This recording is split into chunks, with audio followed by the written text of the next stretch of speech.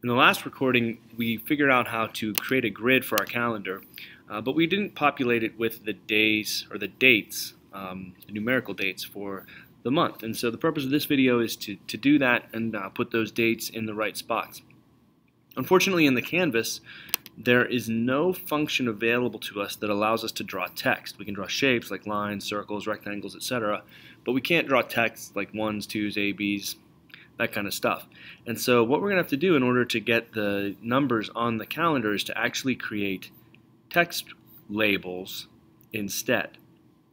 You've made text labels before using the label widget in the design toolbox, uh, but I don't want to have to drag 31 you know, different text labels on here and give them all numbers and, and do all that. That's going to be pretty tedious to do and to place them all manually by hand.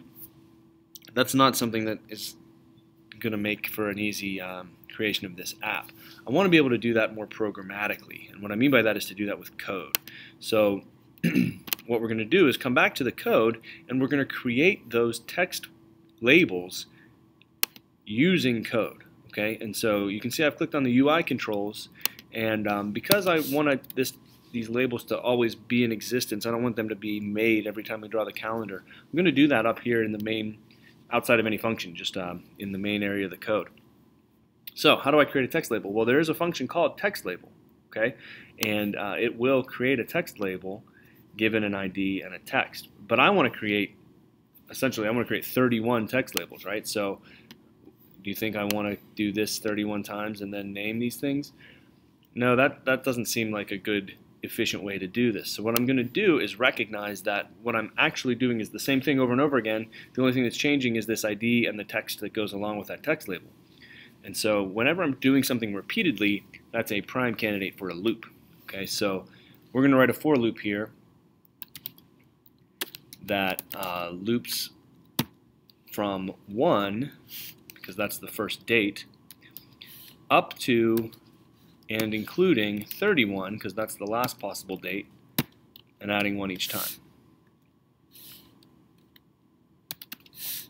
Now inside this loop, what I'm going to do is create that text label. So text label. The ID I want to identify, you know, uh, be able to like move these things and um, arrange them individually. So I need to create an ID that changes for each one of them. So I'm going to call these date labels maybe. So I'll call this like date. um, it needs to be in quotes. But I can't just call it date because then they'll all be called date and I won't be able to refer to them individually. So I'm going to add on, I'm going to concatenate uh, the, the value of i. So the first date will be date 1 and then date 2 and then date 3, right? Now the text of that label will simply just be i itself, right? I want the first label to be a 1 and then a 2 and then all the way up to 31. So i is going to be the text itself and now I'm creating these 31 labels, okay? If we run this, reset it and run it, uh, I think it's just going to, yeah, just going to like create them all, right? And it kind of arranged them so that they weren't over top of each other or anything, but they're not where we want them to be. They're just kind of up there at the top of the screen. Still, that was really good. I was just able to create 31 text labels and, and get them to show up on the screen. Okay, so that's our first step is just simply creating those labels. Now we want to um, actually move them to the right spots. And so we're going to do that uh, in the draw calendar function itself when we draw the calendar. So we've, up here we've already drawn the grid, and so we should kind of identify that. So draw calendar grid. And now what I want to do is place those labels. Okay. So put myself a little comment that I'm placing the date labels. All right, now this gets tricky because I need to know what day of the week a month starts on, right? So I can't just assume that this first block is the one because maybe January 2019 started on a Tuesday, right? And so we're going to have to figure that out. Um, but let's leave that for now. Let's for now just assume that every month does start on the first block, and we'll kind of go from there. So, what am I going to do? Well, I'm going to loop through each of these labels and place them. Right? So, again, this notion of a repetition where I want to be doing the same thing over and over again. I want to place the 1 somewhere, then I want to place the 2 somewhere, then I want to place the 3 somewhere, each with a small change. So, because we're repeating that action, this, again, seems like a good opportunity to use a loop. So we'll say for var i equals, um, actually let's make it kind of clear. We'll say for date equals 1. Doesn't matter what we call this variable. We could call it i, just a looping variable. I'm calling it date to remind myself, hey, this is a date that we're dealing with. While the date is less than or equal to 31, let's say, um, add 1 to the date. Okay. Now what do I want to be doing here is I want to be changing the position of the date label. Okay. Um, so how are we going to do that? I need to know what row and column I'm on. Um, so let's let's create variables for that too, because I need to keep track. You know, every time we put a label down, I need to move over one and move over one and move over one. And when I get to the end, I need to move down a row and then move over one. So it's kind of a lot to keep track of there. We need to know what row we're on. We'll start that. Uh, make a variable for that. Row zero. Make a variable for the column. Um, we'll make that start at 0. So I'm starting at row 0, column 0, that's up here. And uh, I'm going to just kind of like move over every time. And when I get far enough, I'm going to move down, move down a, a row, right? All right, so let's let's see if we can kind of incrementally get this where we want it to be. So how do we change the position of a text label? Well, there's a function called set position, okay?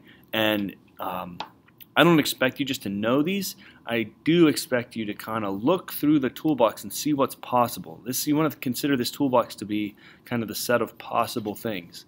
There are actually some things that are possible that aren't even in this toolbox that we'll look at soon too, but this is how we get familiar with the code as we, we see what's possible and we try it out. So we're going to set the position. Okay, what are we setting the position of? Well, we're setting the position of the first in this case, the first date label, the first uh, label that, that one, right? Well, what did we call that? Well, we created that up here. It was called date one, right? So I need to say date, right? The word date plus the value of the date that I'm on, which is stored in the variable that I've just called date, right? Maybe that's confusing. Maybe you want to make this i, whatever. I don't, I don't uh, care what you call that loop variable. I'll just leave it as date. So I'm saying date plus the number that is being held in the variable date. Okay, so that's the item I'm changing. what do I need next? I need its x and y coordinates. Okay. Well, um, its x coordinate is going to be, I'm not sure, I'm not really sure yet, but I know that it's going to move over by the width of the square, right? And if we think back, what did we do um, when we were making those lines for the squares, we were multiplying x by 43, right? So each column was 43 pixels wide. So I'm going to see, well, you know, when x is 0, this starts at a 1. So let's say we're going to say 1 plus the column I'm on times 43. Okay, so the column I'm on is 0 right now, so that's going to be 0. We'll be right at 1. I don't know if that's right. I might have to play with it. Okay, The y value is similar, right? And the y value uh, was also increasing by 43 every time we drew a line, right? You can see that right here. And I added 1, okay? So let's do that again. We'll say row times 43 plus 1, right? Now, uh, this is going to cause us a problem. I'm not going to say what it is yet. Maybe you'll pick up on it. Um, but let's try this. And I think that's all we need to do there. Set the position. Okay. And uh, every time we set the position, or every time this date increases by 1, we're going to add 1 to the column. So let's add 1 to the column. So column plus plus. That way I'll move over by 43 pixels every time. Let's run this and see what happens. There's, there's going to be a couple problems with this. Okay, so first of all, my values are too high, right? They're way up at the top of the screen and not in the grid. They're also a little too far to the left, looks like. So I'm going to have to add some. And they only go up to 8.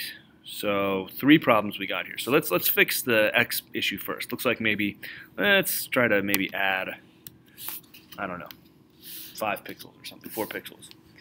See if that's that's good. I don't really know um, what what that should be. Um, maybe I could uh, yeah, we'll just offset that, see what that does. Eh, still not really enough. So the issue here is that we've got uh, that's causing both the x and the y to be off is that we're confusing our coordinates. Okay, these coordinates for the set position are setting the position on the screen.